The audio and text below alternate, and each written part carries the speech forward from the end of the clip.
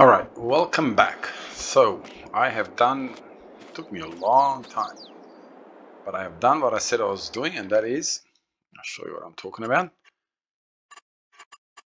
is divided the farm in three. Now,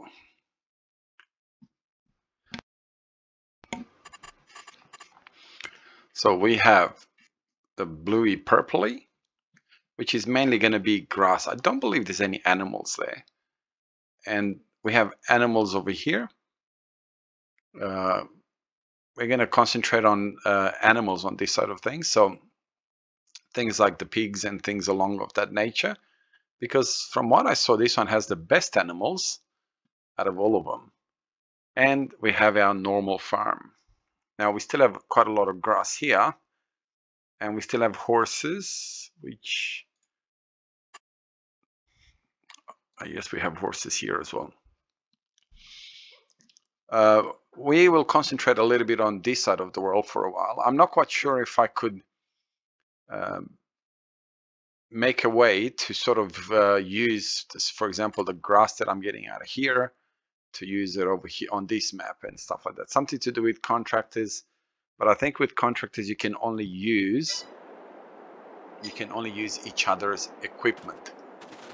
So this is the map, the the farm over here at the bottom of the map. Um, and like I said, it seems to have a lot better as far as the animals are concerned. So that's our sheep, and I believe um, over here is our cows. Or over here is our cows, one or the other. Yeah, I think over here is our cows. So as you can see, we're not really going to be struggling as far as um, as far as uh, fields are concerned. It's fairly tight in here, so I've decided to go with JC, uh, JCBs uh, as far as the tractors are concerned. Now I maybe went a little bit overboard as far as um, equipment and things of that nature, but um, obviously I did not want to start again on two farms, so that is to restart on two farms from scratch. Purpose of this is to show you, to show off the map and this is the only way that I can think of showing off this side of the map. And uh, hopefully you won't mind it. Like, um, like I said, it had to be a way where we're actually we've actually got some stuff. It couldn't just be, you know, well, let's start from scratch type of thing. So field number six, we're ready to cut grass. If that works. Yep, that works as well. So we got a bit of a caravan park over here. And I do believe this is field number six. Yes, it is. So I don't actually know if I could. Yes, I can, so that's good. I was gonna say, I'm not quite sure if I could hire a worker or not, but it seems that I can. Oh, whoa, whoa. About this how temperamental this uh, rear driving or rear steering equipment is. But we'll cut the grass and we'll come in. Oh, got a bit of a bridge up here. I didn't even see that. We got some timber over there. So let me know what you think uh, about what I've done. Hopefully you like it. I mean, the hours that I put in to try and set it all up. Um, hopefully it will mean that you actually do enjoy it. Otherwise, I've kind of wasted all that time for nothing. Um, now, I know that some people might say, yeah, but uh, you know, you've added money, blah blah blah. Um, it's the only way that I could show off all these three farms, four farms actually. Like I said, without me going from scratch again, and then again, and then again, and then again. I mean, okay, maybe maybe I went a tiny little bit over as far as uh, what I got in or added in to be able to show off the map. Maybe I could have done it with less equipment, but I wonder why we have this area over here. Probably add, looks like it's looks like it's uh, an enclosure that I could this is where I can see my other farm from over here. Now obviously we're gonna pretend that they're not the same farm. So by no means are we going to go along with the idea that hey we're one farmer that owns multiple farms. This is what if I can set up in a way where we can uh, buy some of the stuff that they do be good. If we can't, well we can't. That's it. So yeah, uh, I mean, there's always ways around it. I can always just calculate how much it would cost to buy, for example, 10,000 liters of, I don't know, wheat. And then just add 10,000 liters of wheat in my trailer and then, you know, delete 10,000 of wheat from the other place. So I could do it like that as well. And that way we can sort of, uh, you know, cooperate with farming. And that way I don't have to, especially when we go to pigs, I don't have to deal with combines and things of that nature. But uh, it's oh, there was a fence over here, so I didn't have to go through there. There was a gate, sorry, over here. So I didn't have to go. What's going on over here? There you are. I didn't have to go through the fence at the other end. Just gonna cut it like that.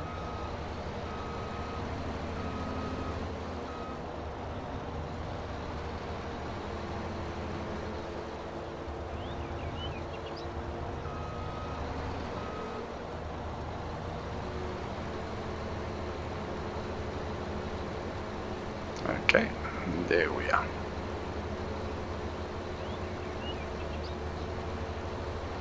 We're bothering these people, but it's midday, so they shouldn't be sleeping at this hour. Be nice if you could get an income off this. I mean, I'm not talking about massive amounts, but it'd be nice if you could get any type of income off this. You know what? Let's do this.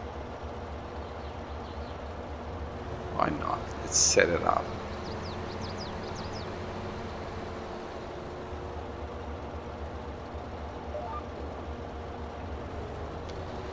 I'm not quite sure. Let's see if it's uh, width. Nope, that's fine.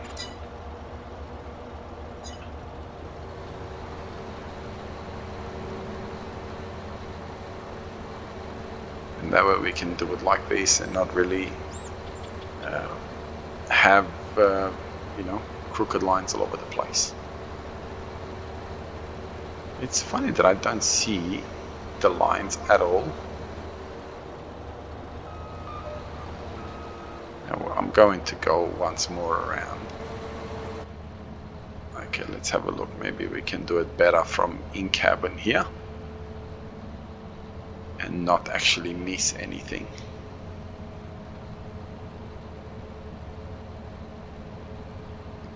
Yeah, so I am not 100% set up yet as far as the three different farms is concerned. Uh, like I said, one of the farm, I don't think from memory has any type of animals on it whatsoever. Uh, I mean, I can always add animals to it if I wanted to do it that way, but I'm almost 100% sure that it does not have any animals at all. So it's, oh come on, use the width of the machine properly, really. So yeah, I don't know what we're going to do with that one other than uh, just basically uh, concentrate on grass or concentrate on alfalfa. I don't think I, uh, I don't think I've ever, trying to think about it, I don't think I've ever in my life uh, on any FSs uh, cultivated or harvested or mowed or whatever alfalfa. So I could just do that. But obviously, um, this is going to be, oh, I'm missing now. This is going to be now the part of the map that I'm going to be spending a lot more of my time, but not just, if that makes sense. Let's see, is the, are the lines not showing? Okay, Naval, no. Headland mode off, no. Shorelines, yes, show the lines. Okay, so we're not gonna bother with them yet. They look a bit crooked, don't they? Is that how I went? Yeah, because the animals are a lot better on this side of the map. So we're gonna anything to do with the animals, we're gonna be on this side of the map.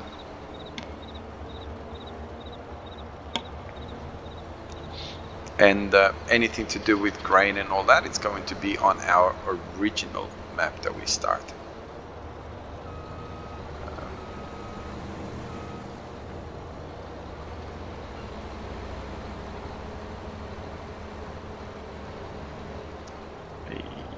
Is very temperamental. I'm still not used to driving this type of machine.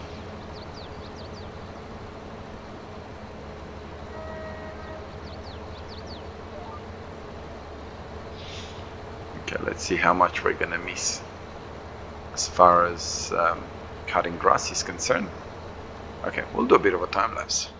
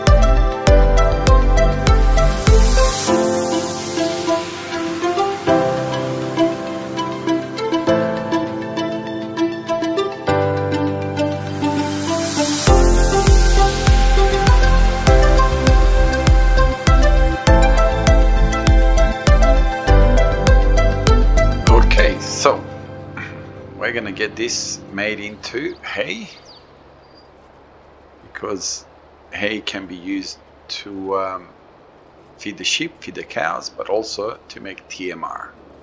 So that's what we are going to do. As you've probably seen, the mower is still cutting the, the grass, so we haven't as yet finished cutting all the grass that we needed to cut.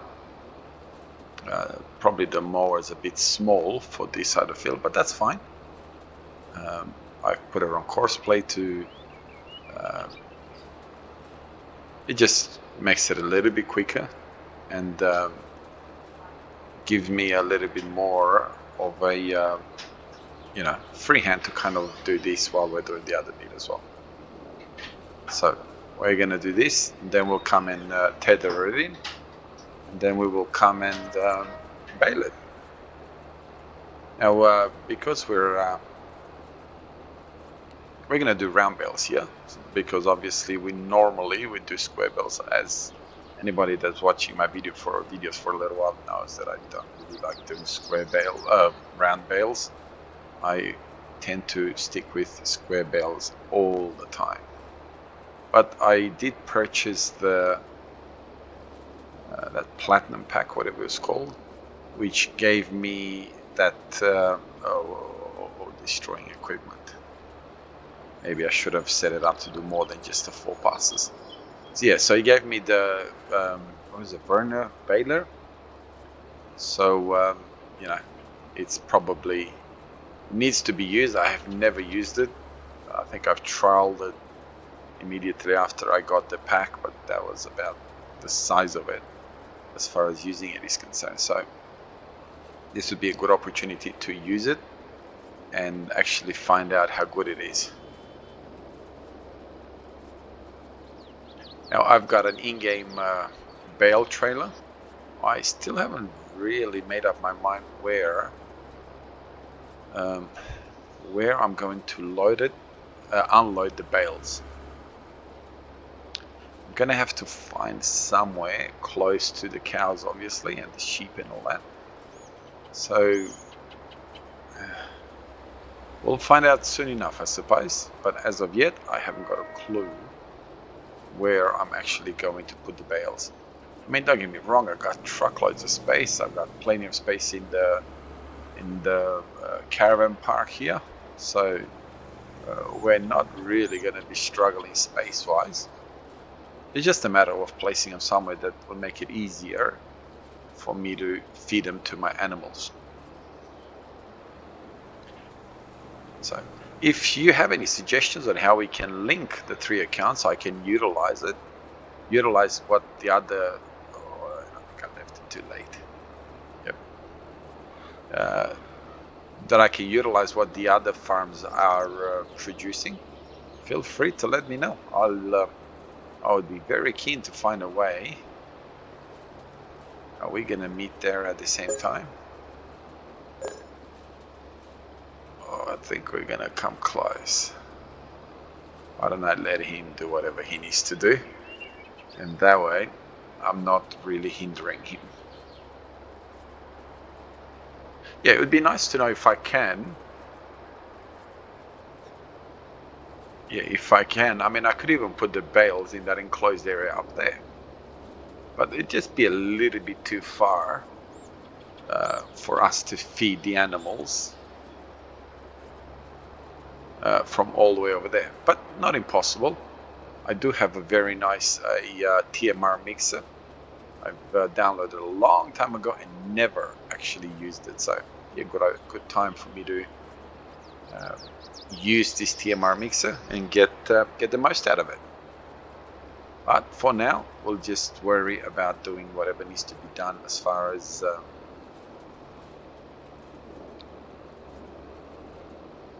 yeah, as far as getting all this ready and baled. Okay, so we might as well do this till the end if we're gonna do it like this. I have heard YouTubers say that by teddering the grass and all that sort of stuff, you actually lose. Um, let me think. Which way is the best way to do it? They say they they were saying that you actually lose up to 10%. Now, whether or not it's true, I honestly could not tell you. Um, if it could be that bad, where you lose up to 10% just because you're teddering it and uh, windrowing it.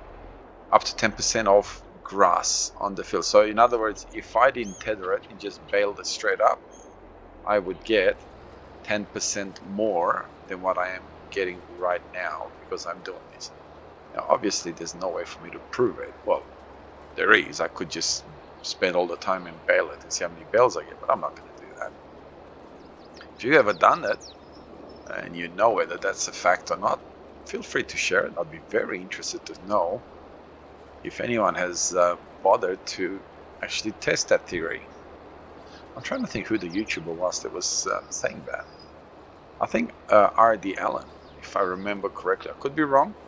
I want to blame the guy. Maybe he didn't say it, but I, I somehow remember that he was probably the one that made this um, comment on one of his videos that I was watching, and he was saying exactly that: that you lose about 10% of um, of your capacity or of the yield of the grass just because you're doing that.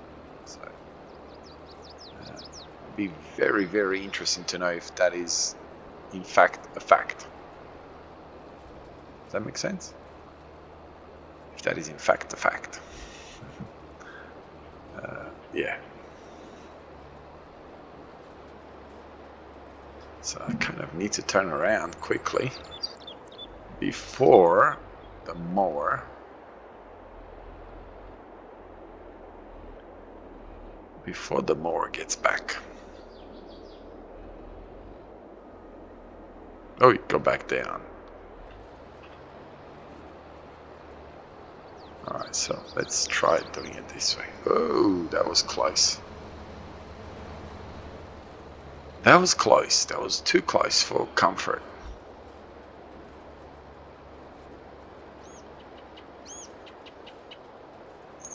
So, again, um, I think I've said this in every video just about how how nicely designed this uh, map is. Uh, it looks as real uh, as you know. You could really be sitting in a real tractor in somewhere in the world, and you could have exactly this view.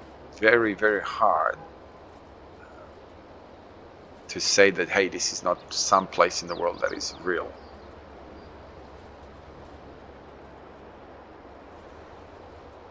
Now, obviously, this map now has kind of the way it's becoming, it's kind of uh, uh, lost that ideology of making money type of thing.